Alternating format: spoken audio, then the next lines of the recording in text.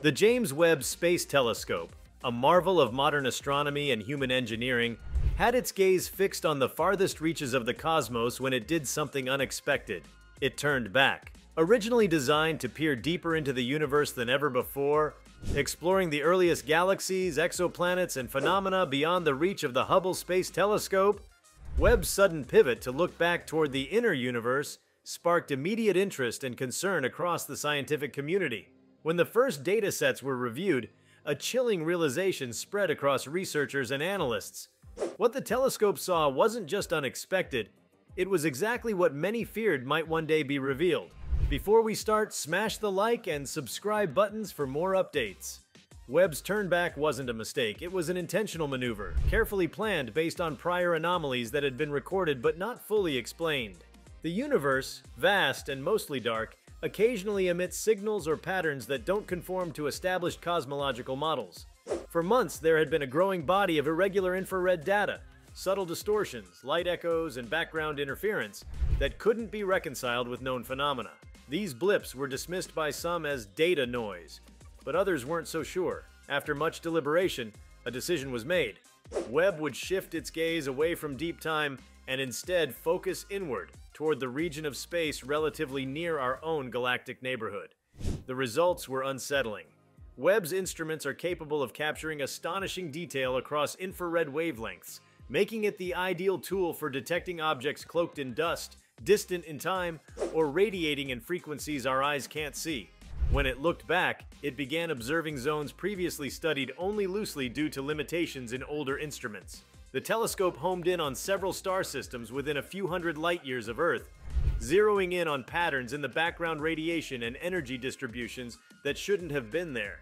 Instead of clean, predictable arrangements of stellar energy, Webb recorded fluctuations, like shadows cast not by objects but by something else entirely, something interfering with spacetime itself. The most disturbing aspect of Webb's data wasn't a single structure or anomaly, but a pattern a highly specific repeating distortion across several sectors. These distortions seemed artificial in origin, not random. Energy signatures that appeared to be deliberate, synchronized, and embedded with a logic so precise it bordered on design. The light curves from several stars were dipping in ways consistent with massive structures orbiting them, not unlike the theoretical concept of Dyson spheres, but these were not symmetrical or complete. They were fragmented, massive, yet broken, more like ruins than active constructs. The implications were grim, evidence of advanced megastructures possibly destroyed. Many had speculated that if we ever detected such megastructures, they would mark the triumph of an alien civilization, the kind of species capable of harvesting the full energy of their host star. But what Webb saw wasn't progress, it was aftermath. The configurations were chaotic, disintegrated as if by some cataclysm. The readings included erratic heat signatures, inconsistent emissions, and gravitational warping that couldn't be explained by any known planetary or stellar arrangement. There was no sign of life, only the eerie traces of intelligence once present, now absent, and it wasn't isolated. Multiple systems scattered across this part of the galaxy showed the same patterns. Something had happened to them. Something that left no survivors, no signals, no warnings, only debris and silence. The fear that emerged among scientists wasn't rooted in the idea of alien life existing. That had always been a hope. The true fear was that life, intelligent, advanced life, had already existed and met an end that defied understanding. The symmetry of the destruction across distant systems hinted not at natural collapse, but coordinated annihilation.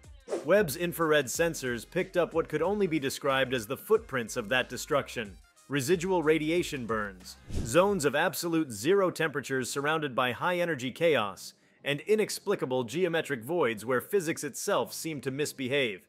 It wasn't just destruction, it was erasure. As Webb gathered more data, its findings began to converge on a particularly disturbing possibility. The destruction seemed to move in a pattern, one not originating from within these systems, but from the void between them. Whatever had caused these collapses hadn't risen from inside the star systems themselves. It had come from outside, sweeping through space with calculated indifference. Its progression left behind nothing but silence and entropy. There were no distress signals, no artificial transmissions, nothing to indicate resistance or escape, just vast, empty echoes. The implications of this were staggering. For decades, theories such as the Great Filter had tried to explain the Fermi paradox. If the universe is teeming with planets and potentially life-supporting conditions, where is everyone? Why don't we see the evidence of galactic empires, interstellar commerce, or even rogue signals from distant civilizations? The data from Webb now suggested a horrifying answer. Perhaps we don't see them because something ensures we never do. Some force, natural or not, that cleans the slate before civilizations can spread too far, grow too loud, or become too noticeable.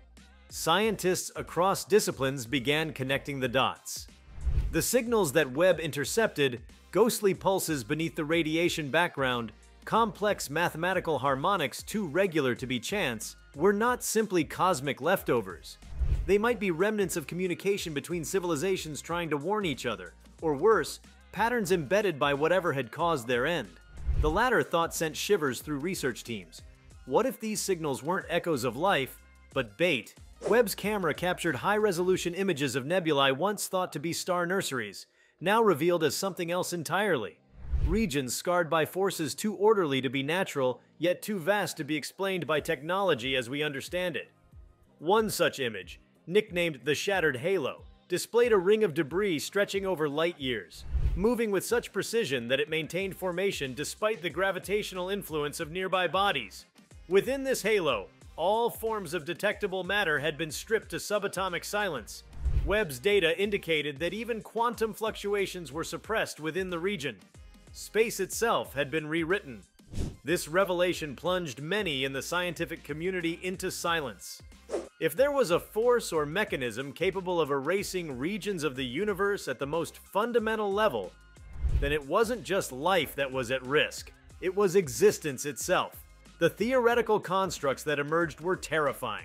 Interstellar cleansing waves, dimensional collapse fields, entropy weapons, or worse, intentional targeted extinction protocols embedded in the physics of reality. Not only were these ideas plausible under Webb's new data, but some of them were supported by what Webb couldn't see. Entire sectors were simply missing. The absence of expected background radiation in certain galactic quadrants suggested a level of destruction beyond comprehension, not just of stars or planets, but of time itself. The light that should have been reaching us from those ancient sectors never arrived, and Webb's instruments confirmed it wasn't blocked or delayed. It was simply gone. These holes in the fabric of the cosmos couldn't be explained by black holes, dark matter, or any known exotic physics. It was as if someone had reached into the universe and cut pieces out of it.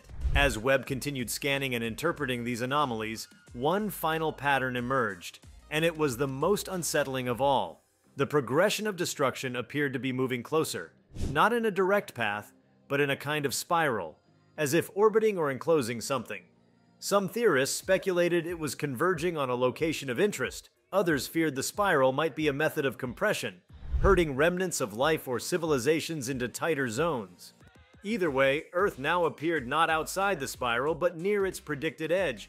No direct threat was detected. No beam, ship, or force heading toward us.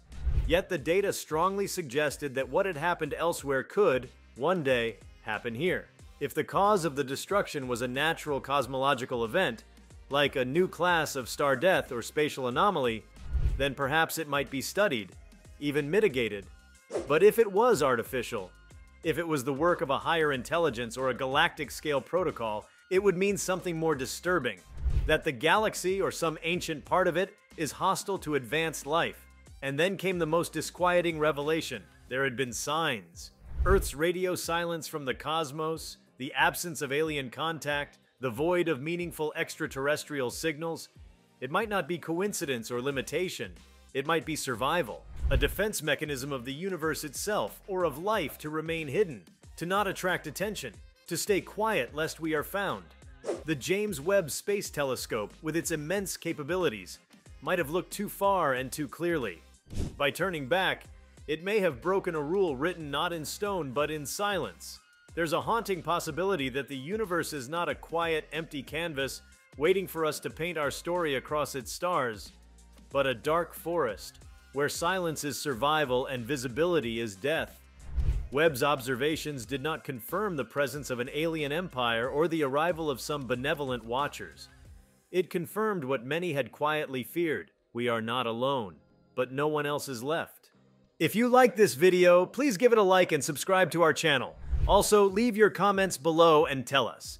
What are your thoughts on James Webb confirming what we all feared? Predictions? We want to hear from you. Thank you for watching, and see you next time.